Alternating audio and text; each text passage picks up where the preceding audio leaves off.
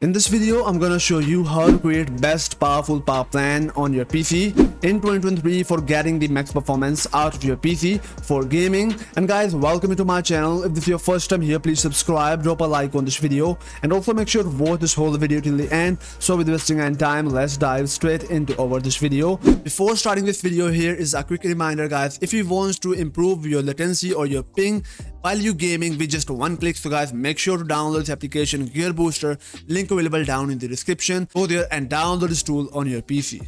So guys, in the first step for creating the power plan on your PC, you need to open up your power settings and for that go for your Windows search and search for power and sleep settings open up your the settings go for the additional power settings and then there you will find out this kind of the interface. Now for creating the power plan on your pc you need to go for the create a power plan. And by the way if you have not these kind of the power plan on your laptop or on your pc so guys at the end of this video i'm gonna show you how you can enable the power settings on your pc or laptop. So guys go for the create power plan settings and then you need to go for the high performance.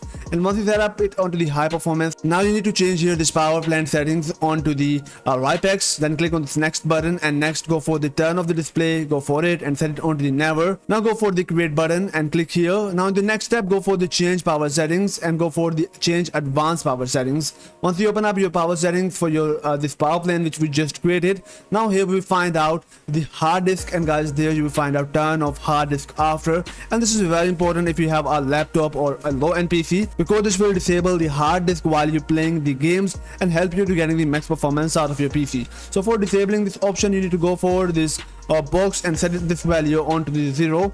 And after that now go for the wireless adapter. And if you are using the Wi-Fi device on your PC or laptop so you need to go for the settings go for the power saving mode and make sure to set it onto the maximum performance out of your PC for getting the high performance and the lower latency or ping while you're playing online games once you set up the settings, now go for the USB settings, click on this drop down and go for the USB selective suspended settings.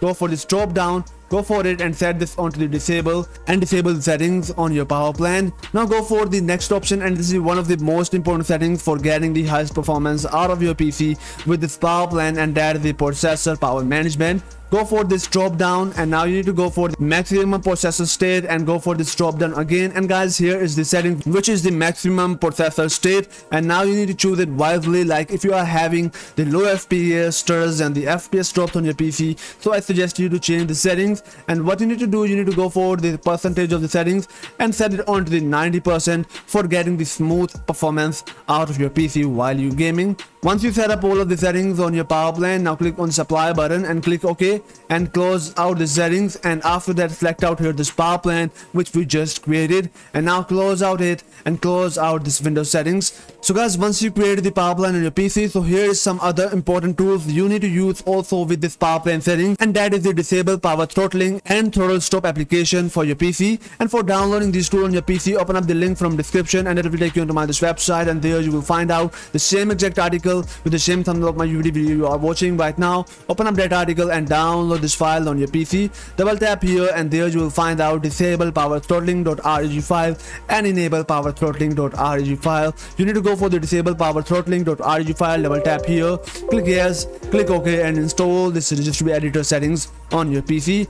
After that, close out this RAR file and now you need to go for the ThrottleStop. You will also find out the download link from this application in the description of my this video. So open up this RAR file and then here you will find out the ThrottleStop.exe file. Double tap here, click yes and simply click OK and open up this application. Once you go to this kind of the interface for the ThrottleStop and this is the latest version so make sure to download the same exact application on your PC. So once you are here now you need to go for this option and set it onto the gaming profile. Now go for for this option which is the high performance check mark onto this box and also make sure to select out the high performance out of this option and once you select out these settings now go for this option and turn it on and click on the save button. And guys here we are good to go. Now after that close out this application and this will keep running in your background whenever you turn on your pc and help you to getting the maximum performance out of your pc i hope so you love this video. Please make sure to drop a like on this video. Subscribe to my channel. Until at the next video peace out